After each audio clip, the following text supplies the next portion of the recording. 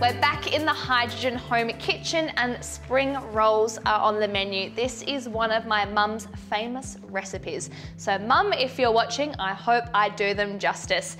This is a recipe that she actually learned around 30 years ago now when she did a Chinese cooking class with our next door neighbour. So we're cooking with gas, so we're gonna turn our hydrogen stove top on and go in with a good amount of olive oil. We're gonna go in with some garlic, and some ginger. And we wanna let this start to lightly warm through and add a really nice perfume to the actual pan itself. A good pinch of salt, and then now we're going to go in with some chicken. So I've got some chicken breast, or you could use tenderloins as well. That's gonna go straight into our pan with some pork mince. So we're gonna add ingredient by ingredient. This does take a little bit of time, but you're going to get a huge amount of filling for these actual spring rolls. So we're gonna let the chicken and the pork get a really nice caramelization, let it go golden and crispy and all the things.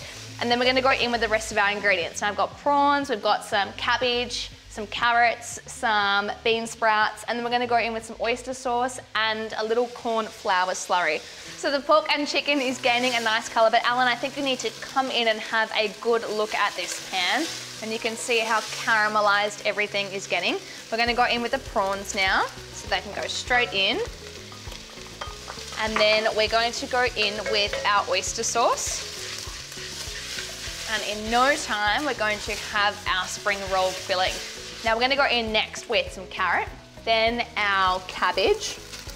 And the cabbage starts off looking really large and this bowl is filled, but this is gonna cook down and basically wilt down to nothing. Now while that is doing its thing, it's got some corn flour and water. And we're gonna give this a really good mix. And this is going to help thicken our spring roll mixture and make sure that all the moisture comes out from everything in that pan last but not least, our bean sprouts.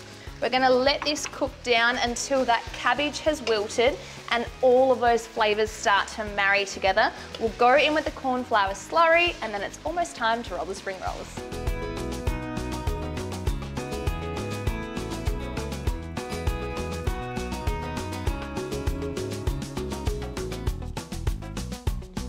So it's time to assemble our spring rolls. We've got some store-bought pastry and I'm just going to fold over to create a little bed for our filling. So the filling goes straight on.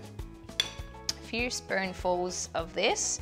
And you almost want to create a really nice cylindrical shape. And when you're wrapping these, you want to make sure they're nice and tight so that you don't have any air pockets.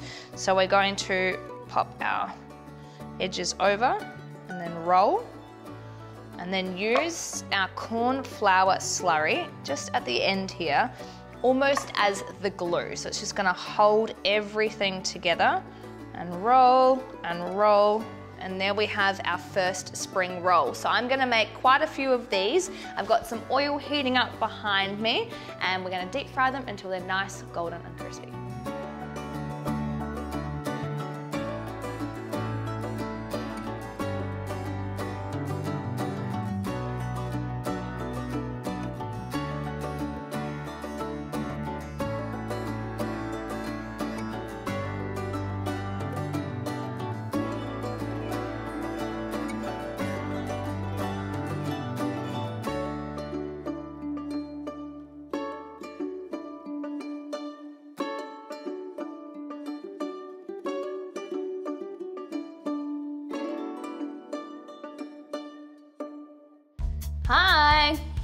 Hi Bella, how are you going? I'm good, how are you?